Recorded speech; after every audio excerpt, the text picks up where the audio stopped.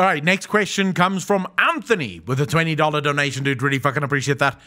Didn't we see the story before? Collect the Infinity Stones, get supercharged. 9.2 will be a time heist where we go back to get sigils. Did Marvel buy Blizzard recently? So, this is actually something that I spoke about with what the fuck was my camera just doing? Uh, this is actually something that I that I spoke with Terran before. As a storyteller, uh, I think Terran told us there's about nine different ways that you can tell a story. Just nine different plots that you can use in a story. This has been tested multiple times over. Almost every single story uses one of these nine plots, and that's basically the only way that you can tell a story. They they've done the psychological testing.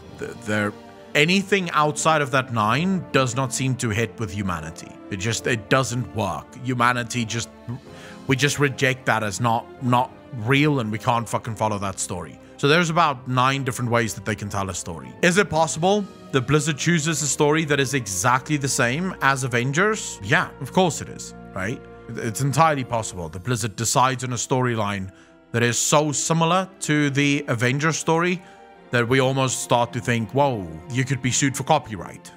So this is the problem, though, isn't it? As you said, there are only, uh, I think you said like 17 stories uh, in total, but they, that it's not enough. Is basically what it boils down to. Is there, there aren't actually that many something like stories. that.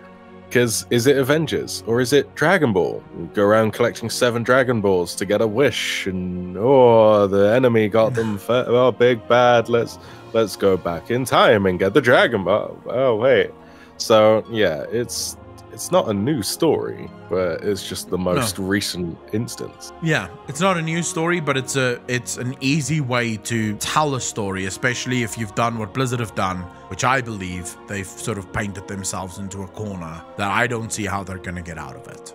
Right now, time travel to me might be one of the worst ways to tell a story because more often than not, time travel makes you feel disconnected from the story. Because it's it's like uh, I'm I'm always sort of I wish that George R R Martin could have followed his own advice for longer. Because yeah he never he never wanted magic in his books because he believed that magic makes things silly. If you have too much magic you can just keep bringing people back with the magic. You can basically rewrite entire swaths of your story if you're not happy with them right? He wanted to make, he wanted to keep magic out of his story as much as possible, and for the most part, he succeeded in that.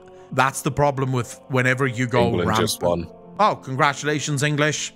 I just heard my fucking walls just go bang, bang, bang. As all the fucking crowd in town just went nuts. Oh shit. So this is sort of where I it's it's sad that this is what Blizzard is going to do, but it is probably what Blizzard is going to end up doing. They're going to use magic to fix a problem that they themselves created. And then we're going to play through it. Now, what kind of magic would I be okay with? If you had to come up with a time expansion, Apocalypse, that you would be okay with, what expansion would you be okay with? So We've come up with the idea before of going back and actually ending up helping the Infinite Dragonflight uh, to establish some important events to actually stop Zovaal becoming Zovaal. Yeah. Um, or coming to power rather. So yeah, I think I think that would be a good one. Uh, the Chromie time scenario was great. Uh, I don't think they should do it again as a bigger thing. I think it should just be left as it was, as like a testing ground for something. Yeah. Um, but yeah, I, I don't know. Time travel is always a difficult one because, as you said, it disconnects people because they hear time travel, they think, "Oh, I can't keep track of this," when it's actually really not that hard. No. If you want, if you want hard time travel, go look at Looper. That shit will melt your fucking brain. Looper was a pretty good uh, movie, though. Yeah, definitely was. Back to the Future is that really that hard to understand? Time travel? No, but I think it does. It it again asks you to suspend disbelief, right? Uh, now with Looper and with Back to the Future. By the way, congratulations to Italy. Ah, right. So happy cool. for you. I'm sorry for the English fans. You guys were so hyped that you were finally going to win, and uh, I guess you have to wait for I don't know whenever the Euros takes place again. Um, I don't even know. Is it every year? every four years? It was people down the road fucking going mental. But I guess we got some Italians in town. Um, I, I, it used to be whenever we had an election, so it should have been every four years. But then our election got fucked up, so I, I don't know. Probably don't know every four years or some shit like that. Probably like the World Cup, every two years alternating with the World Cup sort of thing. Um, now, the problem with Looper as well as with Back to the Future is these were both movies that was based on time travel.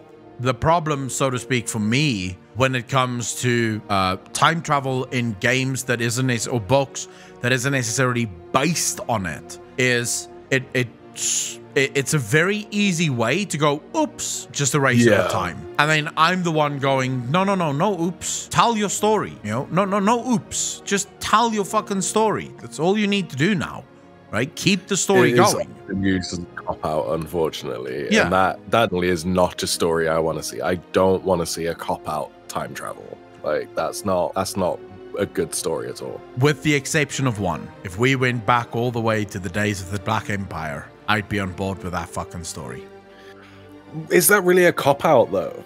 No, no. Is like that's a reset. That, that's what I'm saying. That that would be a full reset, and I'm happy with that. That's not a problem. But uh, just a cop out of ah no, we go back and kill babies baby Zovaal, so we can't be a threat in the future. Oh no. Yeah, no, no. That that is like that that is a stupid time travel. But if we reset yeah. the entire game and basically took us back to the days of the Black Empire, I would be, I would I would be so happy to see the entirety of Azeroth as it were or as it was at the time of the Black Empire would be fantastic. Like that would be absolutely magnificent. Um, it would be good, and you've got ways to tie it into what we've been seeing in Shadowlands as well. Oh, yeah. I mean, um, there's not only N'Zoth, but most recently N'Zoth telling us he's the only one that can actually help us win this war that's coming. We're unprepared. Yeah. Um, all all this nonsense, but I yeah. mean it it would make sense if we went back that far to see the origin of Mueh'zala and yeah. the trolls and the mm-hmm. night elves and maybe the first ever night warrior that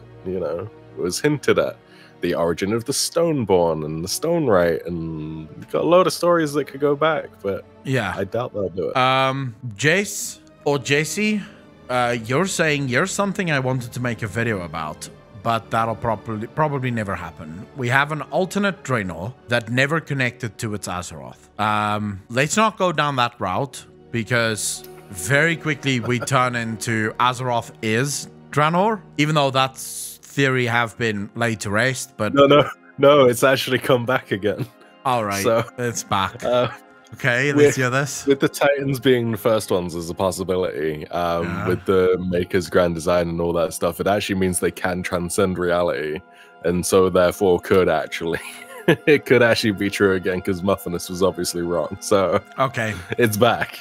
So it is back, but remember, it's not that yeah. alternate Draenor never connected with Azeroth. It absolutely did connect with Azeroth. We went back in BFA to rescue the alternative Draenor orcs the Mag'har. So it did have a connection to Azeroth. The only difference is with the alternate yeah. Draenor is we stopped the invasion that would have led to its connection to Azeroth. But it would still have connected to Azeroth if we did not interfere with the timeline right? So that's sort of where that would be, um, at least in terms of where Blizzard wants to put the story. Ladies and gentlemen, I do hope that you enjoyed this clip from the Sunday Night Chill Show. If you enjoyed it and you want to watch it live, the link to the main channel will be in the description down below. And of course, remember to slap a like on this video, hit that subscribe button, and smash that bell. It does help out. To all of the patrons, thank you so much for your monthly support. It does mean the world to me.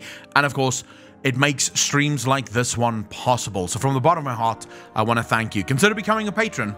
Link in the description down below. Ladies and gentlemen, as always, I will see you in the next one. Peace out, fam.